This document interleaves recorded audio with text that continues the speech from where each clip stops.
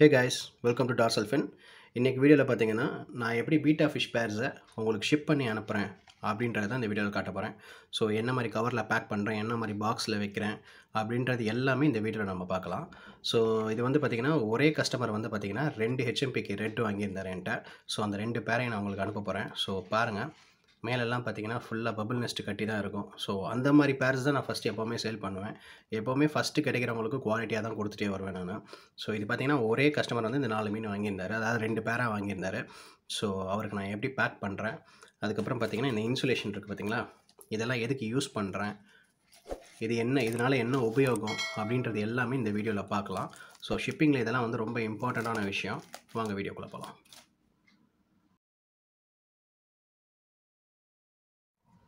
So இப்போ பார்த்தீங்கன்னா நம்ம வந்து இப்படி தான் ஃபில்லப் பண்ணணும் வாட்டர் அதாவது வந்து வாட்டர் வந்து பாருங்கள் இவ்வளோ தான் இருக்கணும்.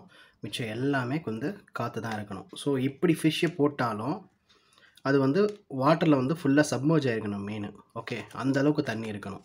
அதாவது வந்து என்ன ஒரு தேர்ட்டி பர்சன்ட் வந்து வாட்டர் இருக்கணும். மிச்சம் செவன்ட்டி பர்சன்ட் ஃபுல்லாமே வந்து காற்று தான் இருக்கணும். ஓகே அதுக்கேற்ற மாதிரி நீங்கள் பேக் பண்ணிக்கோங்க. டேப் வச்சு சாரி இது ரப்பர் பேண்ட் வந்து நல்லா டைட்டாக பண்ணிடணும். எவ்வளோக்கு எவ்வளோ முடியுதோ அவ்வளோக்கு அவ்வளோ நல்லா டைட் பண்ணிவிட்டு ரெண்டு மூணு ரப்பர் பேண்ட் போடுறதா இருந்தாலும் பிரச்சனை இல்லை. ரெண்டு மூணு ரப்பர் பேண்ட் உங்களுக்கு எவ்வளோ சாட்டிஸ்ஃபை ஆகணும்? உங்களுக்கு சாட்டிஸ்ஃபை ஆகிற அளவுக்கு ரப்பர் பேண்ட் போட்டுருங்க. இப்போ வந்து என்ன பண்ணேன்? இது சிங்கிள் பேக் தான் பண்ணியிருக்கேன். இப்போ வந்து இன்னொரு கவர் எடுத்து நான் டபுள் பேக் பண்ண போகிறேன் அது எப்படின்னு காட்டுறேன். ஸோ இந்த மாதிரி எடுத்துக்கோங்க. எடுத்துகிட்டு இதை நல்லா எக்ஸ்பேண்ட் பண்ணிக்கோங்க. நல்லா இப்படி எக்ஸ்பேண்ட் பண்ணிங்கன்னா கொஞ்சம் அதாவது வந்து இது வந்து இது வந்து ஒரு இது இருக்கும். இழுத்தாக வந்து பிரியக்கூடாது. அந்த மாதிரி கவர் தான் இதெல்லாம். ஓகே நல்லா இதை இப்படி எக்ஸ்பேண்ட் பண்ணிவிட்டு அதாவது ரப்பர் பேண்ட் போட்டிருக்க சைடு ஃபஸ்ட்டு உள்ளே நுழைச்சிடுங்க. ஓகே உள்ளே நுழைச்சிட்டு பார்த்தீங்கன்னா இப்படி பண்ணிங்கன்னா இது அப்படியே கொஞ்சம் கொஞ்சமாக மேலே வரும். ஓகே கொஞ்சம் டைட்டாக தான் இருக்கும். ஓகே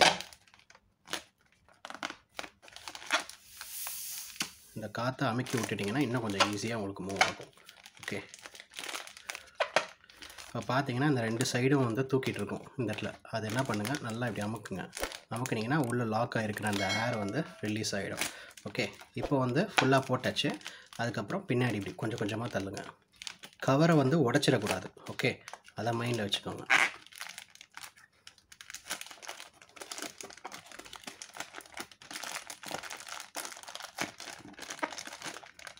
ஸோ இப்போ கம்ப்ளீட்டாக ஏற்றியாச்சு இப்போ பார்த்தீங்கன்னா இந்த சைடும் இந்த சைடும் வந்து ஏர் ஏர் லாக் ஆகிருக்கும் ஒரு சிலருக்கு. ஸோ அந்த மாதிரி இருக்கக்கூடாது. அந்த சைடு ஏர் இருந்துச்சுன்னா நல்லா இப்படி ப்ரெஸ் பண்ணிங்கன்னா அந்த ஏர் வந்து மேலே வந்து ரிலீஸ் ஆகி வெளியே வந்துடும் ஓகே அதுக்கப்புறம் என்ன பண்ணுங்கள் இந்த இடத்தையும் இப்படி சேர்த்து பிடிச்சி டைட்டாக டைட்டாக பிடிச்சி நல்லா ரவுண்ட் பண்ணிவிட்டு ரப்பர் பேண்ட் போட்டுருங்க. எப்போவுமே வந்து சிங்கிள் ரப்பர் பேண்டாக போடாதீங்க. இந்த மாதிரி டபுள் ரப்பர் பேண்டு தான் எப்போவுமே போடுங்க. ஸோ ஒரு நிமிஷம்.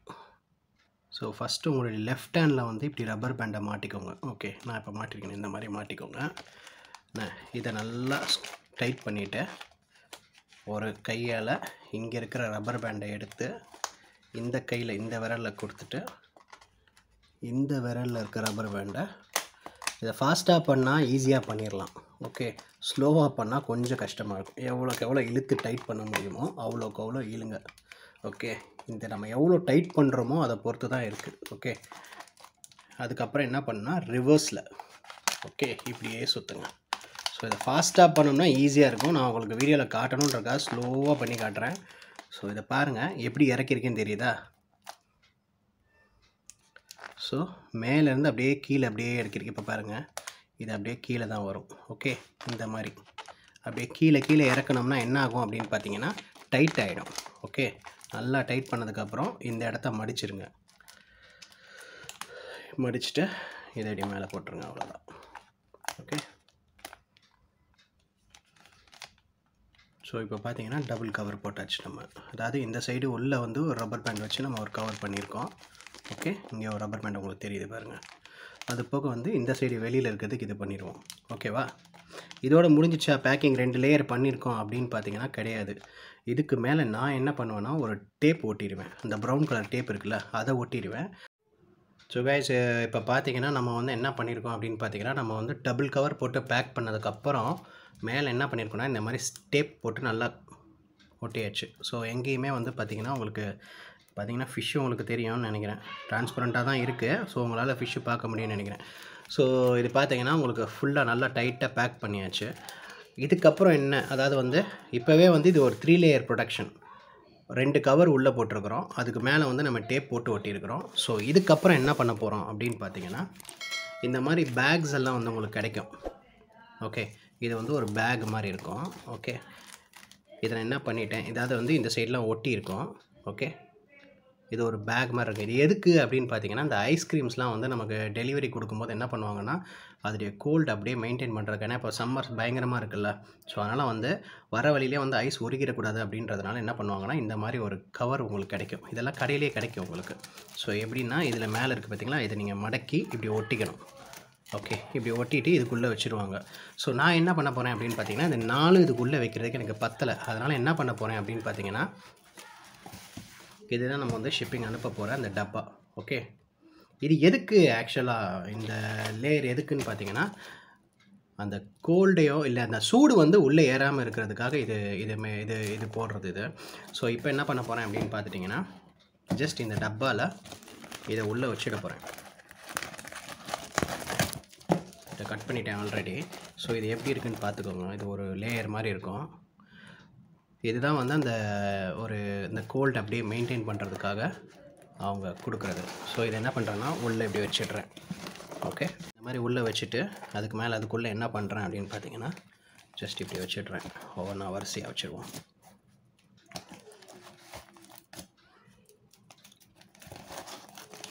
ஸோ உங்களுக்கு இப்போ ஒரு ஐடியா கிடச்சிருக்கும். ஸோ இதுவே பார்த்தீங்கன்னா பயங்கர ஸ்டஃபிங்காக இருக்கும். அதாவது வந்து பேப்பரோ எதுவுமே போட தேவையில்ல. ஜஸ்ட் இதை இப்படி க்ளோஸ் பண்ணிவிட்டு இதை க்ளோஸ் பண்ணிட வேண்டியதான் அவ்வளோதான் சிம்பிளாக முடிஞ்சிச்சு பாருங்கள் ஸோ இந்த கேப்பில் என்ன பண்ணணும்னா நம்ம தெர்மாக்கோல் அல்லது வந்து என்னது பேப்பர் அதெல்லாம் போட்டு ஃபில் பண்ணிவிட்டு க்ளோஸ் பண்ணிட வேண்டியதான் அப்படியே க்ளோஸ் பண்ணிட வேண்டியதான் ஸோ இவ்வளோ தான் நம்ம இதை கொண்டு போய் ஷிப் பண்ண வேண்டியதான் அட்ரஸ் எழுதிட்டு. ஸோ அதை காட்டுறேன் உங்களுக்கு. பண்ணிவிட்டு உங்களுக்கு காட்டுறேன். ஸோ இப்போ பார்த்தீங்கன்னா தெர்மாக்கோல் வச்சுடுவோம். எதுக்கு ரிஸ்க் எடுப்பானே?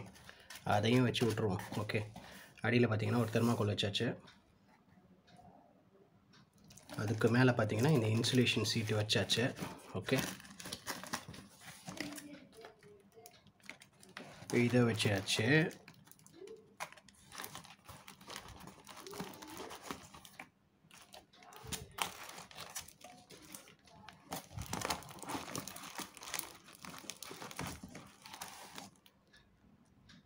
இப்போ பார்த்தீங்கன்னா இதை க்ளோஸ் பண்ணிவிட்டு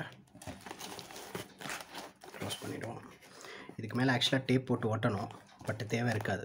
ஏன்னு கேட்டிங்கன்னா இதுக்கு மேலே இன்னும் ஒரு பீஸ் தெர்மாக்கோல் வைக்க போகிறோம் ஏஸ் ஓகே இதுக்கு மேலே ஒரு தெர்மாக்கோல் பீஸ் வச்சாச்சு. ஸோ இப்போ பார்த்தீங்கன்னா க்ளோஸ் பண்ணிட வேண்டியதான் ஓகேவா அவ்வளோதான் முடிஞ்சிடுச்சு இப்போ இதை டேப் போட்டு ஒட்டிடுவோம் ஸோ கைஸ் இப்போ பார்த்தீங்கன்னா பாக்ஸ் ஃபுல்லாக டேப் ஒட்டி ஃபுல்லாக கவர் பண்ணியாச்சு. பாருங்கள் இதுதான் நம்ம ஷிப்பிங் பண்ணுற முறை. ஸோ இந்த இடத்துல என்ன பண்ணணும் அப்படின்னா மேலே இதுதான் வச்சுப்போமே. இந்த இடத்துல என்ன பண்ணணும் அப்படின்னா டூ அப்படின்னு போட்டுட்டு அந்த பையர் இருக்கார் பார்த்தீங்களா அவருடைய நம்பர் இங்கே சாரி அவருடைய அட்ரஸ் எல்லாம் எழுதிட்டு மறக்காமல் ஃபோன் நம்பர் எழுதிடுங்க. ஸோ இன்கேஸ் அவரை ரீச் பண்ண முடியலனா கூட ஃபோன் பண்ணி கேட்பாங்க. ஃபோன் ரீச் ஆகலைன்னா அட்ரஸ்க்கு டேரெக்டாக போய் பார்ப்பாங்க. ஓகேவா அதனால் வந்து கண்டிப்பாக அதை மென்ஷன் பண்ணிவிடுங்க ஒரு சில கொரியரில் வந்து பார்த்தீங்கன்னா லைவ் ஃபிஷ்ஷை அக்செப்ட் பண்ணுவாங்க. ஸோ அதனால் மேலே வந்து லைவ் ஃபிஷ் அப்படின்னு ஒரு இன்ட்டு போட்டு ஒரு நாலு புள்ளி வச்சுட்டு இம்பார்ட்டண்ட் அந்த சிம்பிள் போட்டுட்டு லைவ் ஃபிஷ்னு போட்டு நீங்கள் அனுப்பலாம். நம்மளுடைய நம்பரும் நம்மளுடைய பேரும் இந்த இடத்துல மென்ஷன் பண்ணிவிடுங்க ஃப்ரம் அப்படின்னு போட்டு நம்மளுடைய இங்கே மென்ஷன் பண்ணிடுங்க. ஸோ அது கொஞ்சம் ஈஸியாக இருக்கும். நீங்கள் இதை கொரியரில் அனுப்புறதா இருந்தால் அதுக்கு சொல்கிறேன் நான். ஒரு சிலர் வந்து என்ன பண்ணுவாங்கன்னா ஒரு சிலர் கொரியர் ஆஃபீஸில் வந்து லைவ் ஃபிஷ்ஷை வந்து அக்செப்ட் பண்ண மாட்டாங்க. ஏன்னா லிக்விட் ஐட்டம் அப்படி இப்படி சொல்லிவிட்டு அதை அக்செப்ட் பண்ண மாட்டாங்க. ஸோ அது கொரியர் ஆஃபீஸ் பொறுத்து இருக்குது ஸோ உங்கள் ஏரியாவில் எப்படி அப்படின்றத நீங்கள் கேட்டு தெரிஞ்சுக்கிட்டு அதுக்கப்புறம் கொரியர் அனுப்புங்க. ஸோ கைஸ் இது வந்து ஒரு லாங் டிஸ்டன்ஸ் போகுதுன்னா நான் இந்த மாதிரி தான் பேக் பண்ணி அனுப்புறது. ஸோ அதை தான் உங்ககிட்ட காமிச்சிட்டேன். இதே இப்போ ஷார்ட் டிஸ்டன்ஸ் போகுது அப்படின்னா அதுக்கு இருக்குது பாருங்கள் ஸோ நீங்கள் பார்த்தது பார்த்தீங்கன்னா அதே மாதிரி பேக்கிங் தான். உள்ள ரெண்டு கவர் இருக்குது அதுக்கு மேலே இதே மாதிரி டேப் போட்டாச்சு. ஓகே டேப் போட்டாச்சு. இது ஒரு மேல் அண்ட் ஃபீமேலு இங்கே லோக்கலில் இருக்க கஸ்டமர் தான். ஸோ இவருக்கு அனுப்பும்போது எப்படி அனுப்புவேன் அப்படின்னு பார்த்தீங்கன்னா அதே மாதிரி பாக்ஸ் தான். ஸோ இதில் என்ன பண்ண போகிறேன் அப்படின்னு பார்த்தீங்கன்னா தெர்மாகோல் மட்டும் வச்சுடுவேன். ஸோ உங்களுக்கு புரியுதா? நான் அந்த அலுமினியம் வந்த இது அந்த அந்த ஹீட் ரெசிஸ்டண்ட்டுக்கு வச்சுருந்தா அந்த பொருள் வைக்கல நான். அதுக்கு பதிலாக என்ன பண்ணிடுவேன்னா தெர்மாகோல் வச்சுடுவேன். ஸோ தெர்மாகோல் வச்சுட்டு அதுக்குள்ளே என்ன பண்ணுவேன்னா ஃபிஷ்ஷை தூக்கி வச்சுடுவேன். அதுக்கப்புறம் என்ன பண்ணுவேன்னா நிறைய கேப் இருக்குது பாருங்கள் இந்த இந்த பாக்ஸில் பார்த்தீங்கன்னா நிறையா கேப் இருக்கும். ஸோ என்ன பண்ணலான்னா நியூஸ் பேப்பர் வந்து பால் மாதிரி உருட்டியோ இல்லை அந்த மாதிரி ஏதோ ஒன்று பண்ணி அங்கங்கே இடுக்கில் சொருகி வச்சு இந்த மீன் வந்து இப்படி அசை அலையக்கூடாது. இப்போ பாருங்கள் இந்த மாதிரி பாக்ஸ் யாராவது ஆட்டினா கூட இப்படி இப்படி இந்த சைடு அந்த சைடும் போகக்கூடாது. ஸோ அதை வந்து மீனை வந்து ரொம்ப ஸ்ட்ரெஸ் பண்ணணும் ஸோ அதனால் என்ன பண்ணணும் அப்படின்னு பார்த்தீங்கன்னா அசையாமல் நல்லா டைட்டாக அப்படி பிடிச்சி நிற்கணும் ஒரு இடத்துல அப்படி நிற்கிற மாதிரி நீங்கள் வச்சிடணும் வச்சுட்டு மேலே திரும்பி ஒரு தெர்மாக்கோல் போட்டு ஆக்சுவலாக சைட்ஸ்லேயும் தெர்மாக்கோல் வச்சிங்கன்னா ரொம்ப நல்லது தான் ஸோ சுற்றி நாலு பக்கமும் தெர்மாக்கோல் வச்சிட்டிங்கன்னா நல்லது தான் அது எப்படி அப்படின்றத உங்களுடைய இதை பொறுத்து பண்ணிக்கோங்க. ஸோ இதுலேயும் பார்த்தீங்கன்னா மேலே நம்ம டேப் பண்ணி இதெல்லாம் பண்ணி முடிச்சுட்டு மேலே டேப் பண்ணிவிட்டு ஸோ இது வரைக்கும் நான் இதில் டேப் பண்ணியிருக்கேன். தெரியுதா உங்களுக்கு? ஸோ ஃபினிஷ் பண்ண உடனே என்ன பண்ணுவேன்னா இதை க்ளோஸ் பண்ணும்போது மேலேயும் சுத்தமாக அப்படியே ஃபுல்லாக டேப் பண்ணிவிட்டு அனுப்பிட வேண்டியதான் அதே மாதிரி அட்ரஸ் எங்கேவோ அதை போட்டு அனுப்பிட வேண்டியதான் ஸோ இவ்வளோ தான் கைஸ் நான் லாங் டிஸ்டன்ஸ் ஷார்ட் டிஸ்டன்ஸ் ரெண்டு பண்ணுறதுக்குமான ஒரு வீடியோ உங்களுக்கு காமிச்சிட்டேன். ஸோ இவ்வளோ தான் நம்ம ஷிப்பிங் கைஸ் ஸோ கைஸ் இது ஒரு லோக்கல் ஷிப்பிங் இதுக்கு பாருங்கள் அடியில் வந்து தெர்மாகோல் வச்சுருக்கேன். அதுக்கு மேலே என்ன பண்ணிட்டேன்னா ஸ்டஃப் பண்ணிட்டேன். இங்கே பாருங்கள் ஃபுல்லி இந்த நியூஸ் பேப்பரை வந்து லைட்டாக இப்படி பண்ணிவிட்டு அப்படியே ஸ்டஃப் பண்ணியாச்சு. ஓகேவா? சுற்றி எல்லா இடமும் வச்சாச்சு. இப்போ மேலே என்ன பண்ண போகிறோன்னா இன்னும் ஒரு நியூஸ் பேப்பர் எடுத்து ஜஸ்ட் இது ஒரு கவர் மாதிரி இப்படி மேலே போட்டுடுறேன். ஓகே தினத்தந்தி தான் தினத்தந்தி தான். தினத்தந்தியே தான். அதுக்கு மேலே என்ன பண்ணுறேன் அப்படின்னு பார்த்தீங்கன்னா இன்னும் ஒரு தெர்மாக்கோல் நம்ம கட் பண்ணி வச்சுருக்க தெர்மாக்கோல் பீஸை மேலே வச்சுக்க வேண்டியதான் ஸோ ஒரு டைட் ஃபிட்டிங் தான் இதெல்லாம். ஓகே அவ்வளோதான் ஓகேவா இப்போ என்ன பண்ணுறோம் இதையும் க்ளோஸ் பண்ணிவிட்டு ஃபுல்லாக டேப் பண்ணிட வேண்டியதான் ஸோ இப்போ பார்த்தீங்கன்னா இதுவும் பார்த்தீங்கன்னா ஃபுல் அண்ட் ஃபுல் டேப் பண்ணியாச்சு. ஓகே நான் எப்படி லாங் டிஸ்டன்ஸ் இருக்கிறதுக்கு எப்படி அனுப்பணும் அப்படின்றதையும் உங்களுக்கு இந்த வீடியோவில் காமிச்சிட்டேன். ஸோ இதுக்கு வந்து கொஞ்சம் ஒன்றும் இல்லை. இதே தான் ஃபாலோ பண்ணியிருக்கேன். ப்ளஸ் அடிஷ்னலாக என்ன பண்ணியிருக்கேன்னா அந்த ஹீட் வந்து உள்ளே ஏறாமல் இருக்கிறதுக்கு எக்ஸ்ட்ரா ஒரு சேஃப்கார்ட் மாதிரி பண்ணியிருக்கேன். இது லோக்கலில் அப்படின்றதுனால வெறும் நியூஸ் பேப்பரை தெர்மாக்கோல் மட்டுமே வச்சு. ஸோ 90% பர்சன்ட் இப்படி தான் அனுப்புவாங்க. இது மட்டும்தான் ஃபாலோ பண்ணுவாங்க. இதான் ஸ்டாண்டர்டாக வந்து கொரியரில் அனுப்புகிறதா இதை தான் ஃபாலோ பண்ணுவாங்க. ஸோ அதை நீங்கள் எப்படி அனுப்ப போகிறீங்க அப்படின்றத நீங்கள் டிசைட் பண்ணிக்கோங்க. ஸோ இதை கொண்டு போயிட்டு அட்ரஸ் எழுதிட்டு கொரியர் ஆஃபீஸில் கொடுத்துட்டு இது கூட வந்து ஒரு நம்பர் ஒன்று கொடுப்பாங்க. அந்த நம்பர் என்ன பண்ணணும் அப்படின்னா ஸ்க்ரீ ஃபோட்டோ எடுத்து உங்களுடைய பையர் யாரோ அதாவது யார் உங்ககிட்ட மீன் வாங்கியிருக்காங்களோ அவங்களுக்கு அனுப்பிச்சிருங்க. ஸோ அதில் பார்த்தீங்கன்னா கீழே வந்து ஒரு நம்பர் இருக்கும். அந்த நம்பரை வந்து என்ன பண்ணலாம்? ட்ராக் பண்ணிக்கலாம். நீங்கள் எந்த கொரியரில் என்ன அனுப்புகிறீங்களோ டிடிடிசியில் என்ன அனுப்புகிறீங்கன்னா டிடிடிசியில் போட்டிங்கன்னா அந்த ட்ராக்கிங்னு ஒன்று இருக்கும். ஸோ அதில் போட்டிங்கன்னா உங்களுக்கு வந்து ட்ராக் ஆகிடும் ஸோ அவ்வளோதான் ஸோ அவ்வளோதான் காய்ச்சி இந்த வீடியோ தேங்க்ஸ் ஃபார் வாட்சிங் ஹாவ் அ நைஸ் டே